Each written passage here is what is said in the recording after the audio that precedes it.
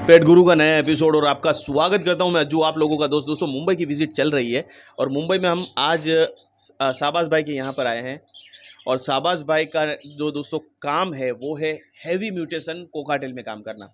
भावनगर की सीरीज़ में हमने नयन भाई के बहुत सारे वीडियोज़ बनाए थे, लेकिन आज यहाँ पर उनसे भी थोड़ी ज़्यादा म्यूटेशंस यहाँ पर देखने को मिल रही हैं। तो वो देखेंगे और दोनों दोस्त भी हैं। साथ में फजल भाई आए हैं। फजल भाई ने दोस्तों रास्ते में बहुत हमारी तारीफ़ की कि एक बंदे के यहाँ हम जाने वाले हो और कैमरे के पीछे है मुजीब भाई। हुआ ऐसा कि दोनों ने दोस्तों पहुँचाया सेम एड्रेस पर हमको। मुजीब भाई ने बोला, मेरा एक दोस्त का सेटअप कवर करना है और फजल भाई ने तारीफ़ की, माशाल्लाह।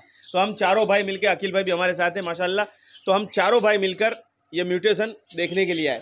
और अखिल भाई का दोस्तों कहूँ के लेने का बड़ा मन है लेकिन जो म्यूटेशन जो इतनी आपको दिखती है कोकाटेल जो तीन हज़ार चार हज़ार रुपये में लेकिन आपकी जेब से बाहर होंगे ये सारे कोकाटेल अभी आपको दिखाता हूँ मैं आगे। तो शाबाश भाई लंबे इंट्रो के लिए माफ़ी चाहता हूँ। बहुत बहुत स्वागत है आपका पेट गुरु पर। थैंक यू थैंक यू भाई। थैंक यू आपका। मेरा सेटअप कवर करने और मुझे इज़्ज़त देने के लिए। जी जी गरीब को याद करने के लिए। नहीं, बहुत बहुत शुक्रिया आपका। बस कुछ नहीं थोड़े बहुत पैर से कुछ इतने भारी पैर नहीं है। जी। थोड़े बहुत पैर है। थोड़ा बहुत काम है कोई बड़ा काम नहीं है मेरे से भी बड़े बड़े काम है लोगों के यहाँ। अच्छा। बस अल्लाह की देन है ऊपर वाले ने इज़्ज़त दिया है और बर्फ़ दिया है। सांस वाली चीज़ है भाई अपने हाथ में तो कुछ नहीं है। हम्म। बस अल्लाह के देन है बस और कुछ नहीं। माशाल्लाह आपकी जो स्टोरी है वो मुझे बहुत अच्छी लगी। तो थोड़ा सा बैकग्राउंड में जाऊँगा। रिवाइंड करेंगे हम कि आपने ये हॉबी कहाँ से स्टार्ट की जो प्रॉफिट मार्केट वाली बताई और ये बॉडी बिल्डर है दोस्तों अभी बॉडी बिल्डिंग छोड़ दी है तो वो थोड़ा सा बताइए आप ही बताइए। ये बात कुछ छः सात साल पहले की है। हम्म, बस ऐसी एक बार मेरे दोस्त है खास हाँ। नौशाद भाई करके। हाँ। बहुत जिगरी है मेरा। वो और मैं बैठे थे कुछ काम हाँ। से। तो ऐसी ख्याल आया हूँ मैं बचपन से अभी बचपन में पाला था। तो ऐसी ख्याल आया कि एक बजीज का पैर लाएँगे तो देखिए सामने वो पैर हम लोग ने परचेस किए। हम्म हम्म फिर उसके बाद धीरे धीरे धीरे धीरे ये लाइन में डीप जाते गए। डीप जाते जाते फिर अफ्रीकन्स लाए फिर कुछ कॉकटेल लाए हम्म। फिर अफ्रीकन लाए फिर कुछ कॉकटेल लाए। कुछ मरे कुछ सीखे कुछ मरे कुछ ब्रीड हुए। धीरे धीरे सीखते सीखते आज माशाल्लाह यहाँ तक है। और सबसे मेन तो मेरे माँ बाप की दुआ है भाई।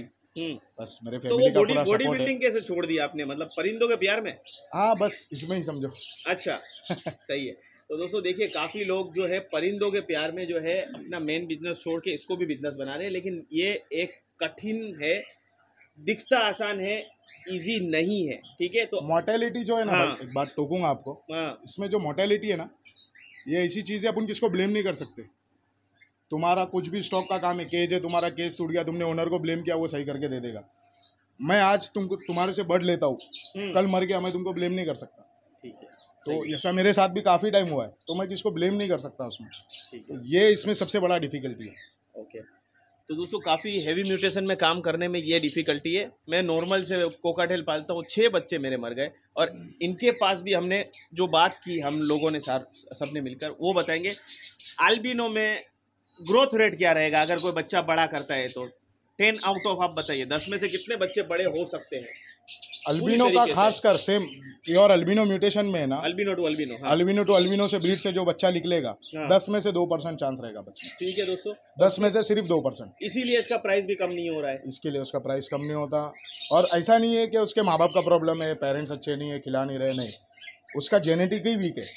तो अब उसका जेनेटिक अच्छा करने के लिए मैं क्या कर सकता हूँ कि अल्बिनो की फीमेल या मेल के साथ क्या लगाऊँ? तो मेरा जो जेनेटिकल डिसऑर्डर है वो थोड़ा सा सुधर जाए और मेरे बच्चे की सर्वाइव रेट बढ़े। वो उसके लिए मैं क्या अल्बिनो को स्ट्रॉन्ग करना है ना तुमको बेसिक में जाना है। या तो उसको नॉर्मल ग्रे लगाओ हाँ। या तो व्हाइट फेस ग्रे लगाओ।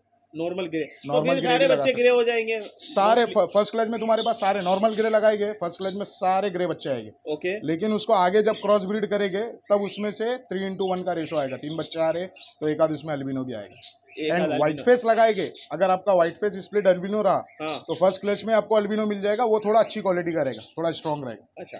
जैसा अभी मेरे सेटअप में एक भी आपको अल्बिनो का पैर नहीं दिखेगा।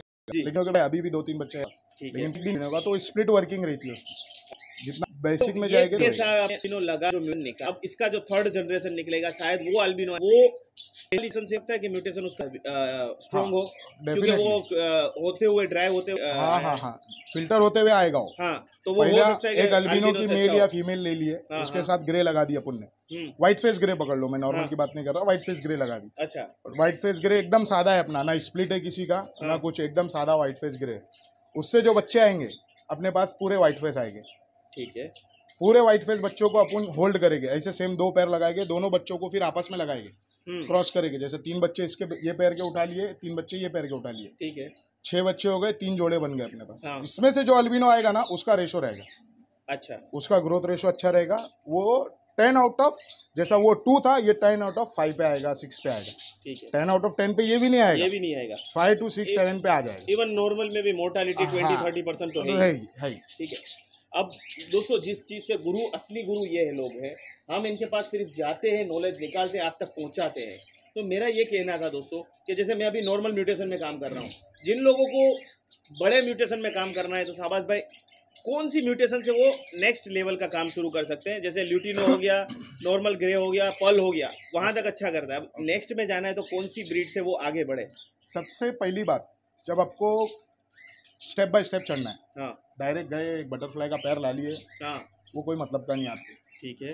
वो कुछ भी काम का नहीं आपके आपको चार बच्चे भी निकाल के देगा तो आपको उसकी वर्किंग आएगी नहीं आगे क्या करना है मेरे को क्या नहीं करना है। स्टेप बाय स्टेप चढ़ो जैसा आप पैचलेस सीरीज़ से हट गए।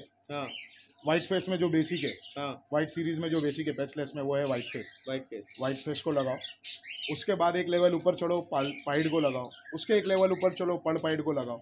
उसके एक लेवल ऊपर चलो फिर सेडल बैग फिर बटरफ्लाई फिर सिंगल स्पॉटेड ये सब लेवल स्टेप बाय स्टेप आते रहेंगे तो आपको खुद समझ में आएगा लाइन बनाना कैसी है। तो मतलब नॉर्मली व्हाइट फेस से स्टार्ट कर सकते हैं। व्हाइट फेस व्हाइट फेस के साथ चारकोल लगा सकते हैं। हाँ चारकोल चारकोल भी लगा सकते हैं। लेकिन मैं बोलूँगा चारकोल जब आप पैचलेस में काम कर रहे हो तो उसमें पैच बर्ड का यूज़ मत करो। ओके ठीक है। क्योंकि व्हाइट फेस ऑलरेडी बेसिक है। ओके जैसा पैच पैच सीरीज़ में नॉर्मल ग्रे जो वाइल्ड में मिलता है वो हाँ, हाँ। बेसिक है।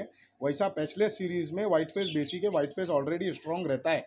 Okay okay. उसको नॉर्मल ग्रे लगा के स्ट्रॉन्ग करने की ज़रूरत नहीं है व्हाइट फेस ऑलरेडी स्ट्रॉन्ग रहता है। ओके व्हाइट फेस के साथ फिर अल्बिनो लगा के अल्बिनो को स्ट्रॉन्ग कर सकते हैं बटरफ्लाई को लगा के बटरफ्लाई स्ट्रॉन्ग कर सकते ओके तो इस तरीके से म्यूटेशन आगे जैसा अभी अफ्रीकन का बहुत क्रेज है लोगों को मालूम भी है। हम्म हम्म हम्म, अफ्रीकन में अपन अल्बिनो को स्ट्रॉन्ग करना है तो ग्रीन फिशर में जाते हैं। हाँ। ग्रीन फिशर को स्ट्रॉन्ग करने के लिए किसी में नहीं जाना पड़ता है। ठीक है। किसी में नहीं जाना पड़ता है।